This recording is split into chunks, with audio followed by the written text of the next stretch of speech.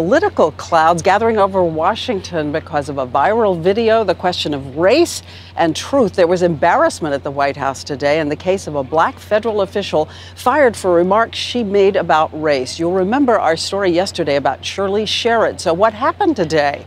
Here's Jake Tapper. Late this afternoon, Agriculture Secretary uh, Tom Vilsack apologized to Shirley Sherrod. This is a good woman. She's been put through hell. And I asked for Shirley's forgiveness, and she was gracious enough to extend it to me. The public mea culpa came after President Obama privately expressed strong regrets about the whole affair. He talked about the fact that uh, an injustice had happened, that uh, uh, and that because the facts had changed, uh, a, a review of the decision based on those facts should be undertaken.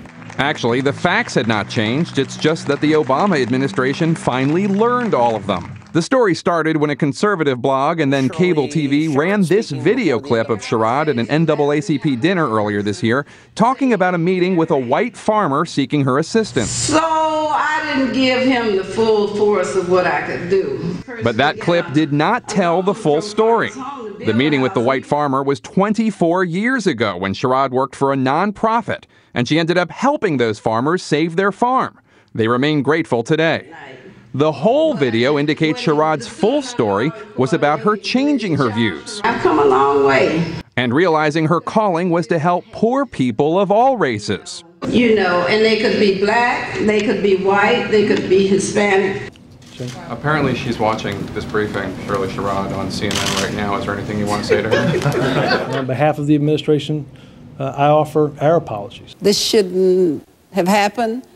Uh, took too long, but it makes me feel better that the apology is finally coming. And Diane, Secretary Vilsack suggested he had offered Sherrod another job, but she needed to discuss it first with her family.